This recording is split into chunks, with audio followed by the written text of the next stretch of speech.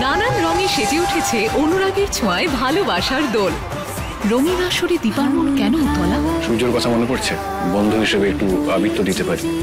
এই দেখো দিদি। নতুন রূপে মুখোমুখি সূর্য আর দীপা। কি হবে এরপর বিশেষ পর্ব। অনুরাগের ছোঁয়ায় ভালোবাসার দোল। আগামীকাল রাত সাড়ে নটা থেকে এগারোটা। স্টার জলসায়।